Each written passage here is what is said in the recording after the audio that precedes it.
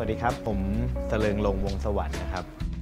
จริงๆ แล้วคอนเซปต์หลักของเราก็คือจะต้องพูดถึงเรื่องของ material นะฮะ ซึ่งก็ต้องเป็นตัว inner tube หรือว่าเป็นยางในนั่นแหละ เพราะว่าชื่อมันก็บอกแล้วมันเป็น rubber killer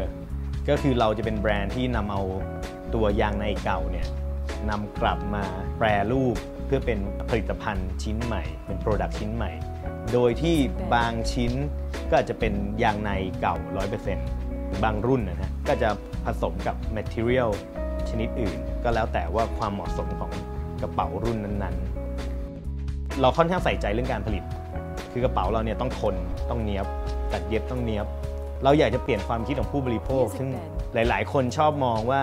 พอมันเป็นแบบ recycle product เนี่ยหรือเป็น reuse product เนี่ยมันจะต้องไม่เนี้ยบ ซึ่งเราไม่เชื่ออย่างนั้น เราเชื่อว่ามันทำให้เนี้ยบได้ มันอาจจะยากขึ้นอีก